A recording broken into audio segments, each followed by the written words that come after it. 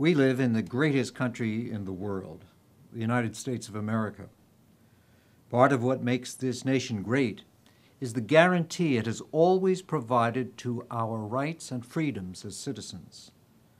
Our leaders have affirmed time and again that those rights and freedoms are inalienable and come, as President John F. Kennedy stated in his inaugural address, not from the generosity of the state, but from the hand of God. Another thing that makes our country great are the laws we pass to protect our rights and freedoms.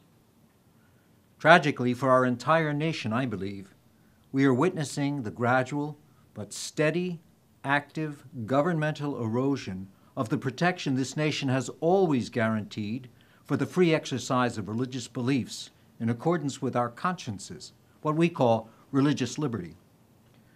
One example of this erosion is the so called Affordable Care Act, first announced by the Department of Health and Human Services in August of this past year.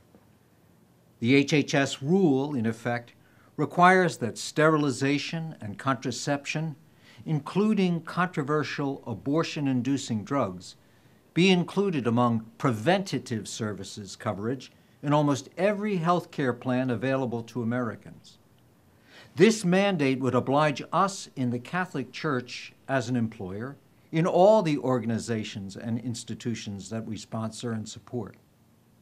Such an affront to religious liberty constitutes an unprecedented assault on the consciences of Catholics, 25% of the United States population, and upon people of all faiths and no faiths.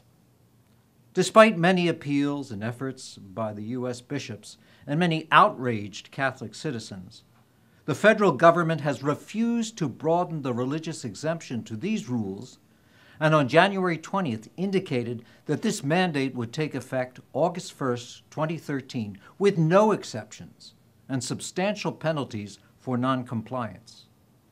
In other words, we have, as Archbishop Dolan said, one year to prepare to violate our consciences.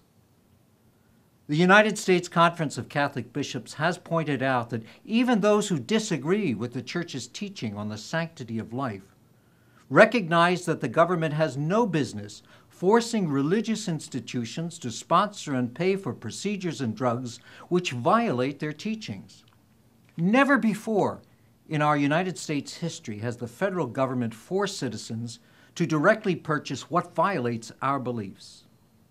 At issue here is the survival of our constitutionally protected freedom that ensures respect for conscience and religious liberty. To allow this mandate to go forward unchecked and unchallenged opens the door to even more intrusion and erosion of what our forefathers came to this nation to seek and find, and what has contributed so clearly to our greatness as a country. As a community of faith, we Catholics must pray that justice will prevail, that our consciences may be protected and our religious freedoms restored.